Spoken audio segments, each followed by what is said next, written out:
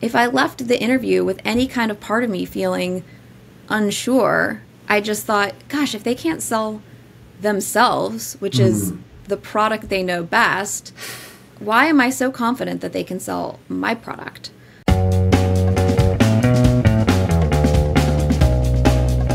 Welcome to the Full Funnel Freedom Podcast. If you are listening to this, you are likely leading a team responsible for generating revenue. Purpose of Full Funnel Freedom is to support people like yourself and keep your funnels consistently, reliably full.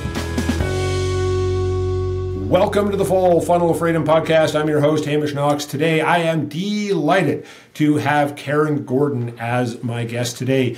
Karen is a go to market leader who has spent her career building and scaling early and growth stage startups. Most recently, she was the executive vice president and a founding team member at GoodShuffle Pro, a SaaS platform for event companies, where she built the company from zero dollars to over 5 million in annual recurring revenue, which led them to their Series A funding in January 2024. She is currently working as a consultant and advisor to businesses looking to scale growth and can be found at innofig.com. Karen, welcome to Full Funnel Freedom. Thank you so much for having me. Hamish, how's it going? It's going pretty well, thanks. I uh, really loved our connection. Uh, you know, previous guest Will uh, connected us, and uh, I, I really enjoyed our first conversation. I'm delighted that we could get together today and share some of your wonderful ideas and insights with our audience. Before we get there, though, tell us your story. I've given the audience the 30,000 foot view. Tell us about how you, where you started, and how you got to where you are today. Sure. Well, I, like most people, did not graduate with a sales degree, um, but found myself in sales right after school. Um, and I, you know, so I've been a revenue generator my whole career, um, but I left that role. Uh, I think at the time I would have told you that I was never going to work in sales again and never going to work in tech again. Uh, turns out both of those were very wrong.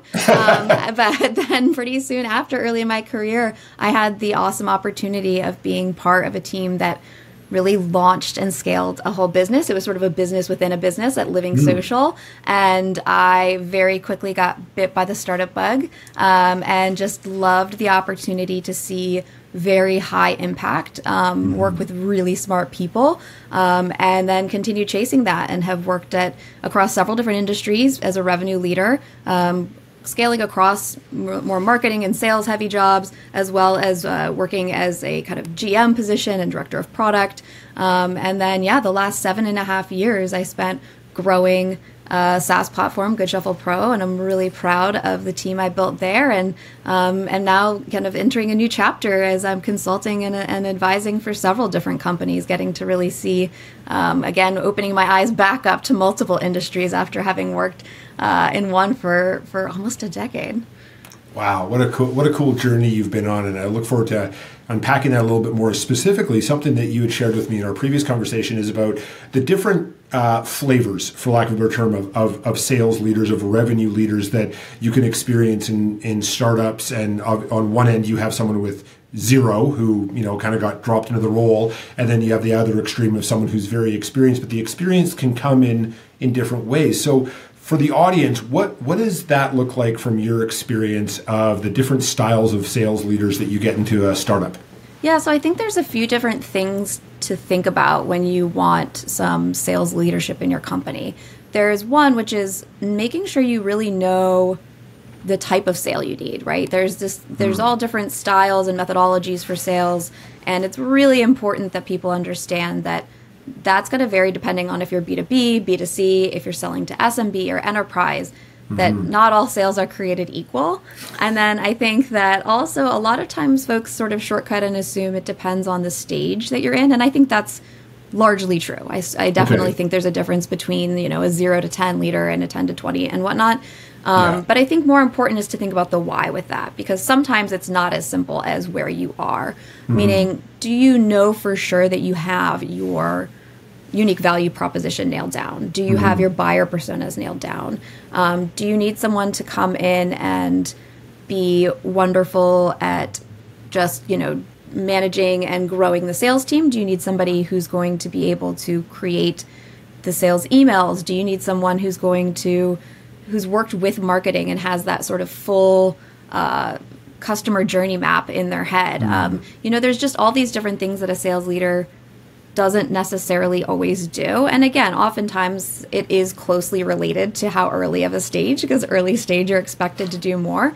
But yeah. also sometimes later on, you've pivoted a few times. You may have a certain amount of revenue coming in, but if you're not confident that you have your messaging clear, you, you're not mm. confident that your pricing strategy is correct, then you want to make sure that you're considering that in your sales leader because you may have sales leadership who's coming and is used to taking a baton and just running with it. But like, if you're not sure if it's the right one, you sure. might want to evaluate that first. That's fair because ultimately, what I've experienced with founders, especially very technical founders, is they just hope sales happens. And the first person who comes in who goes, I can sell stuff and I can scale a team, they're like, awesome, go do that. And usually that doesn't work out very well. Um, occasionally, blind squirrel finds a nut, but you know, often that doesn't work out. So, it, from your experience, because you literally were a starting day zero founder for the last seven and a half years, as you've shared with us, what sort of experience did you bring to that founding team that was beneficial to go from zero dollars to five million ARR and now set up for success to scale past your past your time with the company?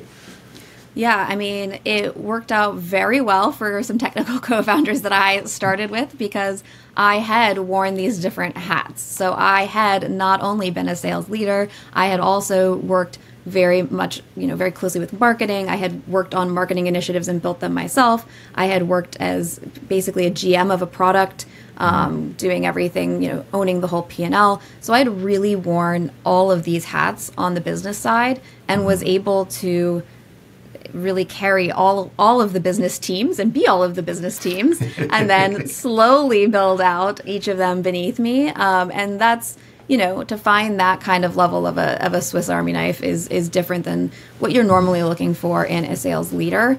Um, but I've seen it, you know, even now as I'm working with different companies, some of them feel like they're, to your point, really just ready to say, okay, just have someone run and sell. And if you don't know what that means, you need to make sure that you're asking questions about what are you saying and why are you saying it? Mm-hmm. How are you getting that traction and why are you going that route? Why are you using that channel?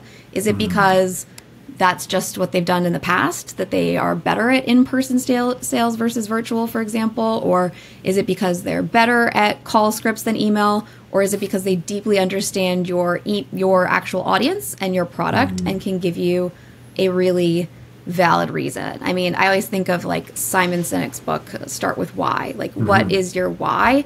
And a company should, of course, ask themselves that, but you should be also asking sales leaders that. Can they tell you why a specific method or a specific pitch is really going to, to be what does it? I love that you shared that because I was, as you were sharing, uh, my my thought was, okay, so for these technical founders who are not necessarily people oriented, right? They they're they're wonderful human beings. They they're just not. They want to work on the on the product. Great. Um, how do they identify like red flags, yellow flags in someone who is positioning themselves to be this this wonderful sales leader? So you just gave us one about the why. From your experience, what are two or three other red flags and maybe some yellow flags that a, a founder would want to look out for when they are bringing on a, a sales leader candidate to scale their business? Well, first of all, I do feel like I have to make the plug that I happened to work with two technical co founders who are very people oriented. Um, so they don't necessarily fit the normal mode. I want to make sure I give them proper proper shout outs and accolades. Um, but fair. yes, absolutely. I mean, even if you are extremely people oriented, it's always the hardest to hire outside of yeah. your expertise, for sure. And I think that salespeople, it can be tricky because if they're at all decent at sales, they already have a leg up on selling you, right? Mm-hmm. Um, but that is actually one of the simple things that uh, what was I listening to or reading recently, where it was just so simply put. But I had been laughing because I had been interviewing someone right before I listened to something where they very simply said, "If you're not sold," and that was something I kind of came back to oftentimes when I was hiring, you know, senior leaders or even frontline salespeople is if I left the interview with any kind of part of me feeling unsure, I just thought, gosh, if they can't sell themselves, which mm. is the product they know best, why am I so confident that they can sell my product? Um, the other thing is, are they selling you your product? The number of times that I have had people come in, again, for senior leadership positions and incorrectly explain our product. Right. It, you know how like you're not doing the research that is needed that you should be doing before each sale anyway. So sounds like very simple advice, but you would be shocked how often people forget to stop with those basics. Can they sell themselves? Can they sell your product? That's step one and step two. And then from there, I would really not be shy to ask specifics and tactics. You know, as sales leaders, we're taught to speak about our impact. So mm-hmm. it's very, you know, natural for me to go in and say, I took this company from this to this. I did this and this and this. I did this with this impact. Ask people how. How did you do that? And you'll start hearing, well, our team did that. What did you do? Yeah. What did you specifically do? And how did you come up with that? And if they say, well, I am constantly reading things and I read something that, or I have a big network and one of my founder friends gave me this idea. Like, that's the type of person you want to hire because they are mm. curious, they are constantly learning, they will check their ideas, they will, you know, they're growing. If somebody just, yeah, they may have some cool resume bullet point, but if it's because someone else on their team was smart and they've kind of rode that wave, that's not that's a problem, right? So I think yeah. it's that that final it's making sure they can sell themselves the product and then making sure they can explain how and why. Brilliant. Uh, you know, it kind of reminds me the first bit about like it's either hell yeah or no. Mm-hmm. And and if, and if you're not feeling, that's what I was hearing from you is if you're not saying hell yeah, this is the right sales leader candidate, move on. And then the other part of it is that that how. And I know I've coached plenty of founders where they bring in a sales leader who had great success at giant company, et cetera, et cetera. And then you found out it was because they had a team. And as soon as they get in the startup environment, all of a sudden everything falls apart because they're used to having three assistants do everything for them. And they don't even know how to log into the CRM, much less enter anything that is going to be worth something. So, listeners, go back and, and rewind, listen to what Karen said about hiring a sales leader several times over because it was absolutely brilliant. So thank you for that, Karen. The next thing I'm curious about is your experience as a founder and as a sales leader from from day zero.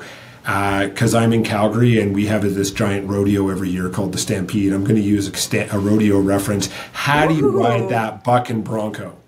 Because day zero is it's not like everybody's going thank god you showed up. Here's my money. Tell us about yes. that experience. That does take a lot of uh, grit. If you've ever read the book grit by angela duckworth yeah. that's another book i'll plug.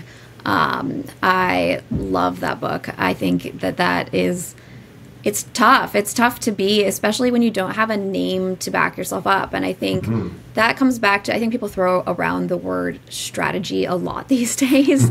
um, but to me, the strategy is kind of connected to that why component. So, for example, okay. I was just working with a client of mine who they've gotten a lot of early traction from doing events and they talked about how they, their audience really likes that personal connection from events and mm-hmm. how they're going to keep growing with events and i said to them you know, I'm, I think that is really working for you now. And it's possible that that will always be part of the fabric of your marketing and your growth strategy. Mm-hmm. But I would encourage you to recognize why that makes sense now and why that might not make sense in a bit, right? That that's not necessarily the most scalable thing. But events and in person uh, connection is a wonderful opportunity when you are new. Nobody knows your name because you have mm. to build trust somehow. Sure. And what I said to them was, look, I have faith that you are on your way to building a level of brand trust where you may not always need to do the mm. laborious events that you're doing currently. Um, so I think, you know, strategy meaning thinking about that why, thinking mm. about what makes sense now. Another thing I say a lot is the hardest part is you have to both be thinking about what makes sense now and what mm-hmm. makes sense long term. Mm-hmm. And people tend to over index to one or the other. So, for example, they get really caught in the weeds of now. So, like that client I just mentioned, maybe just thinking it's always going to be about this one, you know, traction avenue. Mm-hmm. Uh, or they get really, really, really obsessed with what scales and they're not willing to do something that doesn't. And in the mm-hmm. beginning, you have to do things like call your clients and personally chat with them as if you just, you know, aren't running late to your fifth appointment for the day. Um, and so it's it's knowing what makes sense for now and then building the tracks for what makes sense for the actual long term and the actual scaling model. I'm 100% aligned with you on that. And then I also know from experience that we just get stuck, right? We just got, we got stuff to do. How do you actually make time to do the execution now and then the thinking about the future and, and starting to put those building blocks in place? Because theoretically, all of our listeners are nodding right now and in practice they're like that sounds great. I've got i got stuff on my calendar. So how do you coach your clients to actually make the time to do both so they're not over indexed it's radical prioritization. And i think that one of the best ways to do that is to ask yourself difficult questions such as what are the things i like to do the most and am I over indexing on those? What are the things I hate to do the most? And am I under indexing on those? Because when we ask what's the most important, everything's important. And of course. of course, there's other ways for you to sit and look at what's important. I like questions like what is the one thing that I could do that would have the impact for the rest of the week or beyond? What is the one thing I could not do that wouldn't impact even the rest of my week? Things mm. like that can help with the level of importance. But I often find that where we get stuck is being humans. It's quite the curse. and asking things like, what am I getting a little too married to because I just like it or because I feel like I get it or I'm the best at it? Mm-hmm. And particularly small business owners, you know, they will admit that, yeah, like they probably got into their business because they're really great at certain things and yeah. the things that they don't love they're kicking the can down the road and then they have to stop and say are any of those really important? And oftentimes they'll know um, but once you shed the light on why they're not doing it then they can be more honest as to whether or not it needs to get done.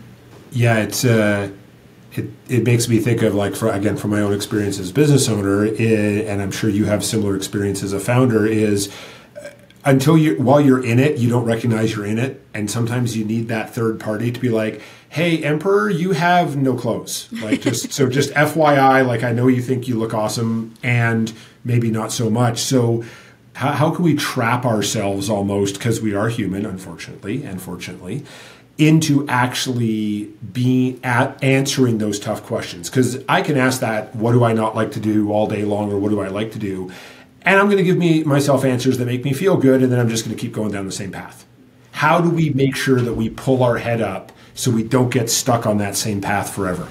I mean, like the cheeky answer would be hire consultant or advisor to help you. Um, outside of that, though, I mean, listening to podcasts would be my second cheeky answer. Um, and and and reading books and things, right? You know, if you're in your own head, you're going to have your own bias, and yeah. you may know best. And I think a lot of people get into business for themselves because they know best. Um, but of course, it's like anything else. If you have, whether it is an outside person or even just an outside source, I mean, mm-hmm. um, like I said with something else, I was listening to something and it was like a duh moment.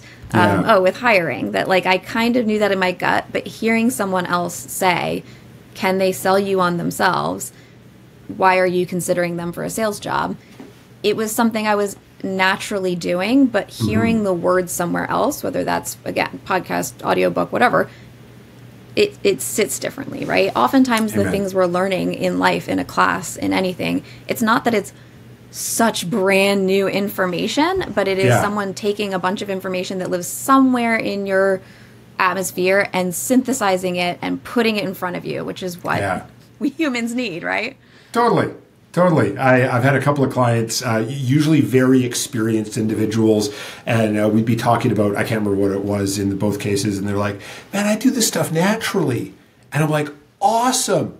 I'd rather you did it intentionally because then you actually mean to do it as opposed to it's in your comfort zone or you're like, oh, I need a move to pull myself out of a out, out of a tailspin or whatever it might be. So having that third party, and yes, listeners, Karen and I are self, have self interest. We would like you to hire us, right? That's fair. Like, let's just call it what it is. And you don't necessarily need to do that. You have podcasts, you have audiobooks like Karen is being is is referencing right now, right? So, but also I would highly recommend you chat with Karen because she's awesome. So, Karen, I do think yeah, it's it's just about getting outside of yourself. However you want to do that, and whatever fits in your budget yeah. as well. But I do think that most people who are doing things naturally, like you said, that is where you most that is where I most often see people plateauing. That they are Fair. doing fine, they are growing their business, but it is not with the margins that they want. They're not Amen. hitting any sort of big that big hockey stick that you want. And then they go, yeah. well, do I need to just hire a sales leader? Which, depending on the business, may be what you need. Um, you definitely need to make sure you understand, to your point about intention, what it is you're doing well and yeah. what it is you're not doing well. Otherwise, it's throwing spaghetti at a wall. Amen. Amen. Yeah, let, us make this success by design instead of by default. I'm completely aligned with you on that.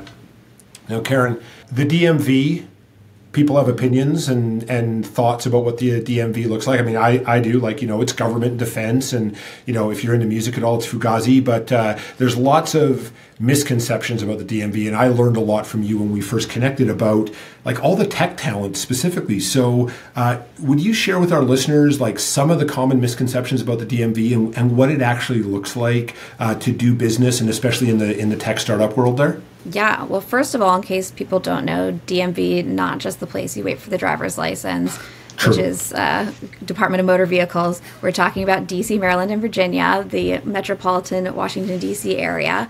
Second of all, I feel like Dave Grohl, Foo Fighters, is a little bit more known from like the yeah. Northern Virginia part. So okay, fair out there. Uh, but yeah, definitely there's a misconception that it is all government. Um, one of my favorite stories to tell is in the early days of GoodShuffle Pro. I was sending out marketing emails just kind of blindly to event companies, and somebody wrote back and said, Your software looks amazing, but I would never purchase from anything made in DC. And we had this little stamp on the bottom of our webs of our emails that said, "Made it proudly made in Washington D.C."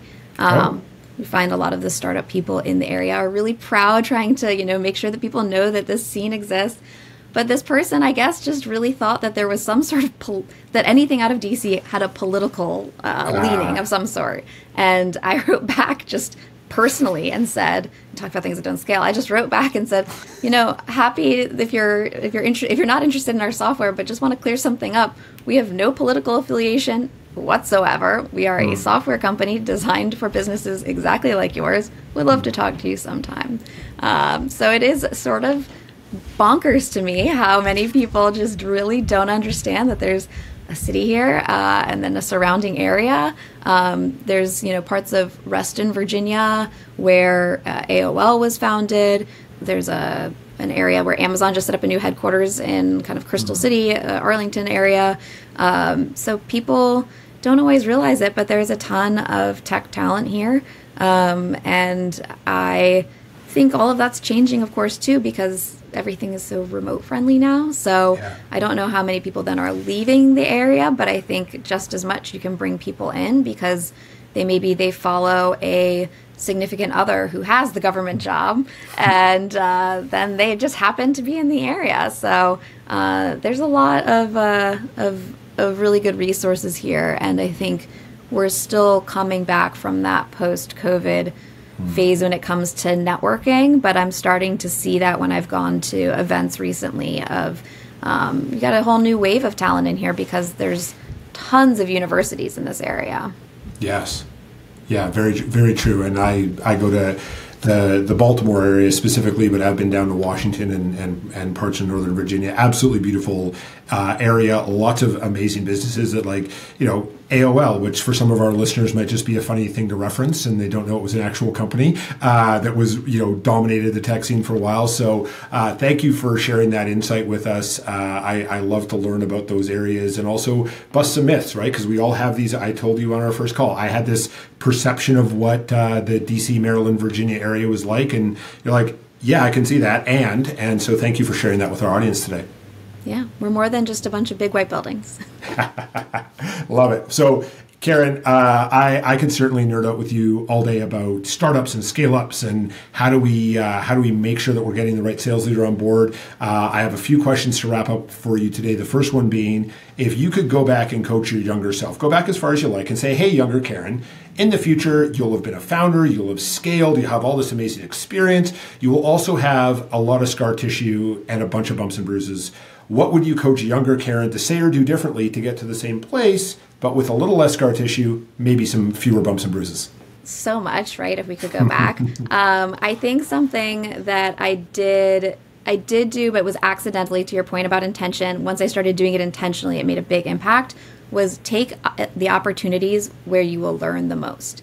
Worry less about your title, advocate for yourself on things like comp, but take the the jobs, the opportunities where you're going to learn a lot, whether that is because you're going to be given more responsibility, you're going to work with awesome peers or mentors. Mm-hmm. Um, that has been, I mean, to your earlier question too about how to get a startup leader, because I had jobs that expected so much of me early in my mm-hmm. career and did so much, I was able to come into positions and say, no, I've actually done all of that already and that learning opportunity is really what propelled things forward. It wasn't about getting any specific title at a certain age or or, or the things you think are important when you're young. Yeah, of course. I, uh, great answer. I've never heard that answer from a guest yet. Is about take the learning opportunities, and I appreciate how you said advocate for yourself in comp because sometimes we hear take the learning opportunities and translate into that into take less money. It's not necessarily right. true. Not necessarily true. And I mean, there's a difference between taking like a slight haircut of, oh, I could go be a cog in the machine over here at this big company and make crazy amounts and then get the golden handcuffs, or I could take a little bit less over here and I think I'd learn a ton. And that's going to mean a lot more, especially in five years. I think that that doesn't mean that you should sit and make no money.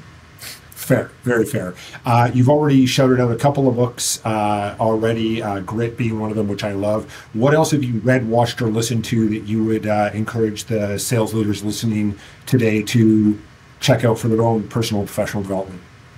Uh, well, I am known as someone who actually someone just told me last week that they said you have a book for everything. So I will try not to give a totally endless list, but I will rattle off a few just because I am a big nerd about reading and read lots of business books. Um, awesome. But I, I will also try to avoid strictly sales books since I'm sure you get tons of really great uh, suggestions there. Perfect. Um, one I wanted to mention when we talked about hiring is Who, the A Player Method great book, really helped revamp our hiring process. For leadership, I would say Multipliers is one of my favorite leadership books. Um, I mentioned Start with Why. Uh, I'll read anything by Adam Grant or Brene Brown. Those are just great, yeah. you know, both personal and professional development. Um, and then podcasts, I'm obsessed with Lenny's podcast for anyone in the, the tech space. Very cool. Thank you for sharing uh, those with us. Listeners, go check out all of those recommendations. Last question I have for you, Karen. You've given us great ideas and insight already today. Uh, what do you have as a final bit of wisdom, a closing thought, or something to plug? Floor is yours. People can reach out to me on LinkedIn. They can um, find my website, which I know you're going to drop in as well. But um, yeah, I think just people, I've been very much on the path of telling people to really find what lights them up and find what challenges them and excites them. And that kind of comes back to the learning opportunity. And um, that's really what's been most rewarding for me in my career is I'm, I'm really big on uh, impact really enjoy finding opportunities where i can very quickly have an impact and um, encourage folks to figure out what it is that, that they're going for. And again not focus on what the title is or the company name or if it's recognizable to just say like what is it that gets you excited on a day-to-day and find that opportunity amazing uh, karen thank you so much for spending time with us today on the Full Funnel Freedom podcast. Uh, I'm excited to con- continue connecting with you uh, online and offline as well. Sounds great. Thank you. Thanks for listening to today's episode of the Full Funnel Freedom podcast. You can continue to support us by leaving us a review and a rating, sharing this episode with a couple of sales leaders in your network who you care about. I'd love to connect with you. I'm easy to find, Hamish Knox on LinkedIn. Also, if you'd like a free 15 minute call with me, go to www.hamish.sandler.com forward slash how to Sandler. Until we connect on the next episode, go create full funnel freedom.